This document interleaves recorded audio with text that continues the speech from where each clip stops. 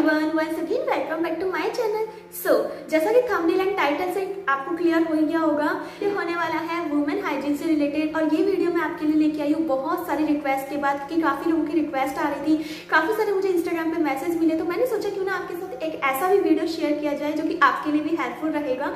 And अगर आपके लिए वाला वीडियो हेल्पफुल रहे तो प्लीज़ लाइक कीजिए शेयर कीजिए एंड सब्सक्राइब कीजिए चैनल को। तो चलिए without any late video start करते हैं। आज का वीडियो आपके लिए बहुत ज़्यादा इन्फॉर्मेटिव रहेगा, क्योंकि आज के वीडियो में मैं आपके साथ शेयर करने वाली हूँ ये एवर टीम की bikini line hair remover cream के बारे में। सबसे पहले जान लेते हैं व्हाट इज़ प्यूबिक हेयर तो प्यूबिक हेयर के बारे में वैसे सभी को पता है, लेकिन मैं थोड़ा आपको बता देती हूँ कि जब वो गर्ल्स जैसे जैसे बड़ी होती है टीनेज में होता है तो उसमें हारमोन्स चेंज होते हैं। आपकी बॉडी में ये चेंजेस होना स्टार्ट हो जाता है एंड ये नेचुरल प्रोसेस होता है। तो उस कंडीशन में ज़्यादा इरिटेशन होती है चाहे ऑफ़िस गोइंग गर्ल्स हैं लेडीज़ हैं डेली रूटीन में वॉकिंग लाइफ में काफ़ी ज़्यादा प्रॉब्लम फेस करनी पड़ती है।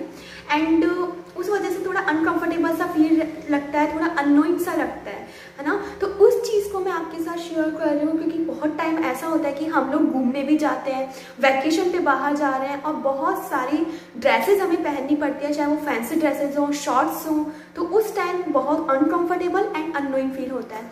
तो इसीलिए मैं आज आपके साथ इस टॉपिक पर बात करने वाली हूँ एंड ये क्रीम बहुत ही अमेजिंग क्रीम है। क्रीम में आपको थ्री वेरिएंट देखने को मिल जाते हैं। अब मैं आपको वन बाय वन बताऊँगी कि कौन सा वेरिएंट किस स्किन टाइप के लिए सूटेबल है एंड उससे आपको क्या बेनिफिट होगा। जो थ्री वेरिएंट है, उनमें सबसे पहले मैं आपके साथ शेयर कर रही हूँ नेचुरल कैमोमाइल एक्सट्रैक्ट वाली हेयर रिमूवर क्रीम एंड सब में जो है मेन इंग्रेडिएंट अलग अलग है, क्योंकि सबकी स्किन टाइप अलग अलग होती है।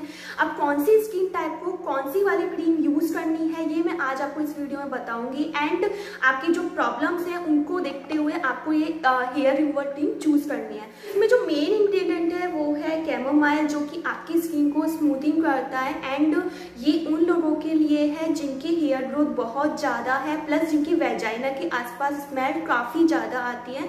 तो ये परफेक्ट हेयर रिमूवर क्रीम है इस जो रेजर यूज़ करते हैं। वैसे तो रेजर यूज़ करना ही नहीं चाहिए मैं आपको बिल्कुल भी सजेस्ट नहीं करूँगी कि अपने इंटीमेट पार्ट्स पे आप रेजर यूज़ करें।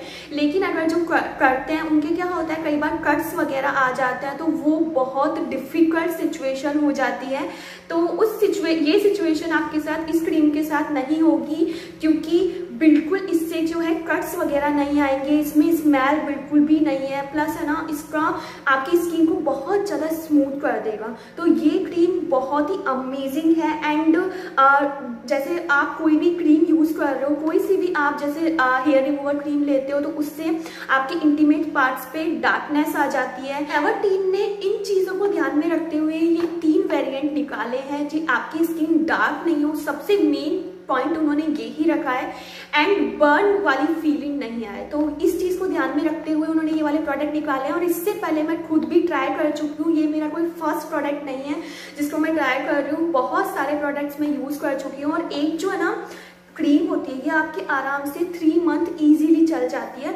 और जो इसकी प्राइस है, वो है ओनली एक सेकेंड जो इसकी प्राइस है, वो है only one seventy nine rupees तो उस अकॉर्डिंग मुझे काफ़ी ज़्यादा बजट फ्रेंडली भी लगी। तो जो इंग्रेडिएंट इन्होंने यूज़ किया है उसमें ग्लेसरीन भी इन्होंने यूज़ किया है जिससे क्या है, आपकी स्किन काफ़ी ज़्यादा मॉइस्चराइज रहती है एंड स्मूथ रहती है। तो उस अकॉर्डिंग में मुझे काफ़ी ज़्यादा अच्छा लगा और ये क्रीम ऐसी है कि इसको यूज़ करने के बाद आपको ना तो इचनेस फील होगी, ना इरिटेशन होगा। सेकेंड वेरिएंट है, वो है कैनबेरी एंड कुकुम्बर वाला हेयर रिमूवल वेरियंट एंड ये उन लोगों के लिए बेस्ट है जिनकी है ड्राई स्किन क्योंकि कैनबेरी एंड कुकुम्बर इसमें मेन इंग्रेडिएंट है जो कि आपकी स्किन को हाइड्रेट करता है एंड डार्कनेस को रिमूव करता है। तो सबसे पहले बात आती है कि किस, किन स्किन टाइप के लोगों को इसे यूज़ करना है एंड इससे क्या फ़ायदा होगा।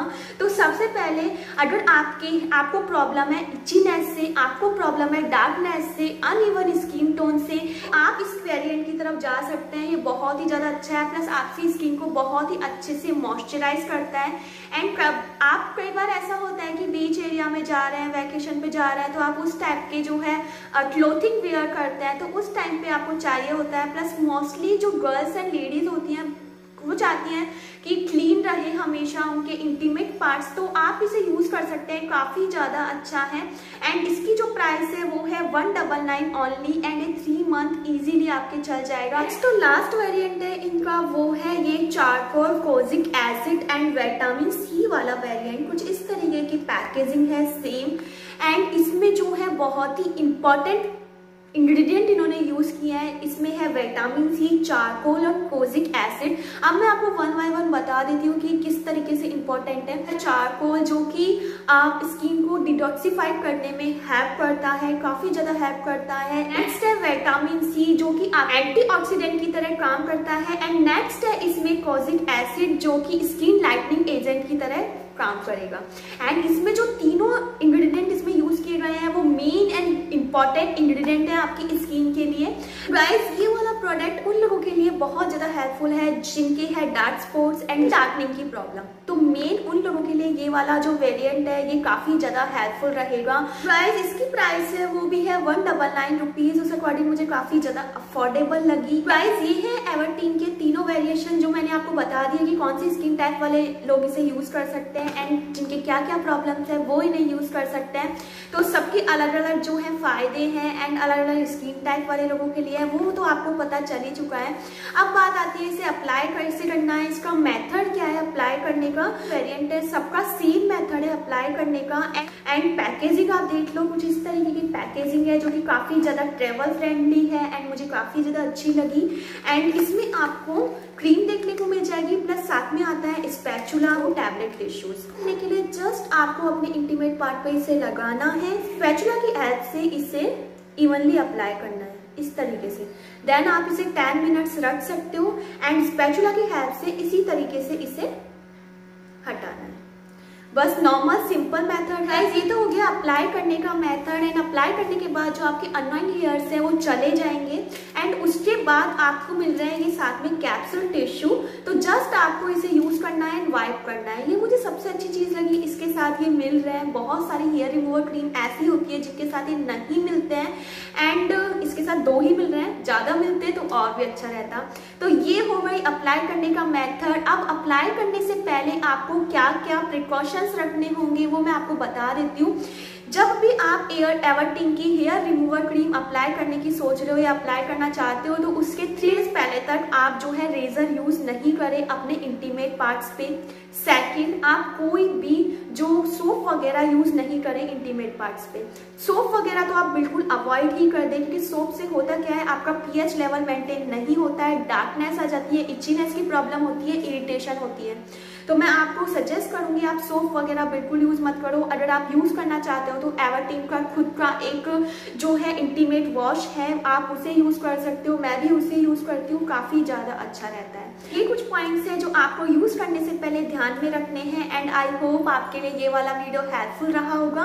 तो अगर आपके लिए हेल्पफुल रहा हो तो प्लीज़ लाइक कीजिए शेयर कीजिए अपनी फैमिली एंड फ्रेंड के साथ। चैनल पर न्यू हो, चैनल को सब्सक्राइब कर दो विद बेल आइकन तो चलिए, अब मैं आपसे मिलूँगी नेक्स्ट वीडियो में। तब तक के लिए bye bye thanks for watching